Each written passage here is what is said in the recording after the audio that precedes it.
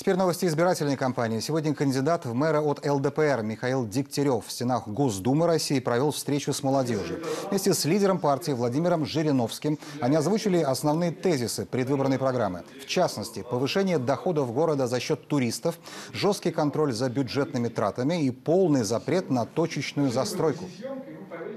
Иногда нужно принимать радикальное решение. Иногда проблему, ну, невозможно решить. Значит, лучше всего запретительные меры. Вот точная застройка. Запрещается в городе Москве любая точная застройка. Да никакие документы не помогут. Нигде в Москве нельзя строить еще один дом внутри жилого массива. Должны быть микрореферендумы. И будущее, мы уже говорили, это самодержавие личности, электронная демократия, когда каждый держит ответ перед собой, семьей, городом, страной и принимает решение. Какого цвета бордюры в мобильном телефоне будем решать, какие деревья сажать, что строить и так далее. Кандидат от Союза горожан Михаил Балакин заявил, что Москва должна помочь малому бизнесу. Предложил отменить плановые проверки, не завышать арендные ставки, обеспечить предпринимателей доступными кредитами. В итоге город только выиграет. Простой маленький торговый центр, сколько он налогов, налогов за счет малого, среднего бизнеса дает государство. Вот.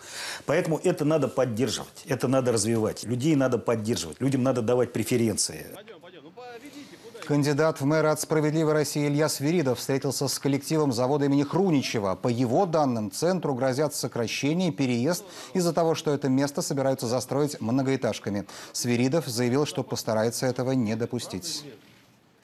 Предыдущее руководство этого центра сделало все для того, чтобы закрыть опытные цеха, опытные производства и перевозировать значительную часть, целью поставить, перебазировать значительную часть производства в Омск. Трудовой коллектив не поедет в Омск. С другой стороны, будут утрачены также и э, э, связи деловые и научные связи с КБ «Салют». Кандидат от КПРФ Вадим Кумин сегодня проверял работу общественного транспорта. По его мнению, пассажирские перевозки в Москве нужно совершенствовать. Обновлять парк автобусов, делать интервалы между рейсами короче, а тарифы на проезд снижать. В нашей программе предусмотрено снижение единого транспортного тарифа до 25 рублей на весь срок полномочий мэра.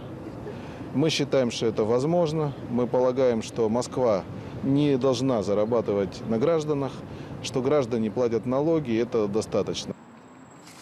А около избирательного штаба Сергея Собянина сегодня заработала будка гласности. Каждый желающий может оставить там свои предложения по улучшению жизни столицы. Я напомню, именно с учетом пожеланий москвичей Собянин формирует свою предвыборную программу. Огромная просьба от жителей района Лефортово почистить пруды. Очень хочется, чтобы открыли для посещения походный дворец Екатерины. Что хотелось бы пожелать Сергею Семеновичу, так это заняться донорским движением. Мой главный наказ – это чтобы наш мэр обязательно остался и не сворачивал со своего пути.